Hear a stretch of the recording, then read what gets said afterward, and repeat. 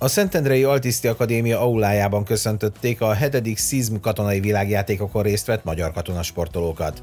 Az eseményen Koron Ferenc Altábor Nagy a Magyar Honvédség parancsnoka hangsúlyozta, a katonasportolók fontos szerepet töltenek be a haderő és a társadalom kapcsolatának ápolásában, emlékeztetett, a Magyar Honvédség küldöttségében 54 sportoló érdemelte ki eredményeivel, felkészültségével, hogy képviselje Magyarországot, a sportszázadból 30 sportoló került be a katona válogatottba. Hozzátette, köszönet illeti azokat a szervezeteket is, akik ebben a munkában szerepet vállaltak. Büszke vagyok arra, hogy ennyi remek és kiváló sportoló tagja a Magyar Honvédség nagy családjának. Önök fontos szerepet töltenek be a honvédség és a társadalom kapcsolata ápolásában, hiszen megmutatják a Magyar Honvédség összetartó erejét, és példaként szolgálnak fiataloknak és idősebbeknek egyaránt.